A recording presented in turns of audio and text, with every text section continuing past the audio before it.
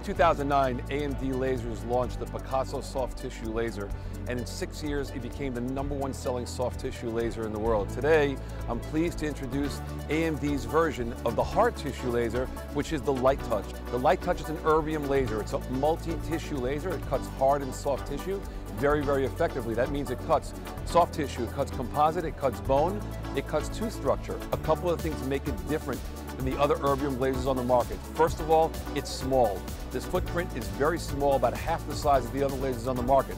Secondarily, the handpiece is extremely, extremely light, and the uh, laser itself is contained in the handpiece.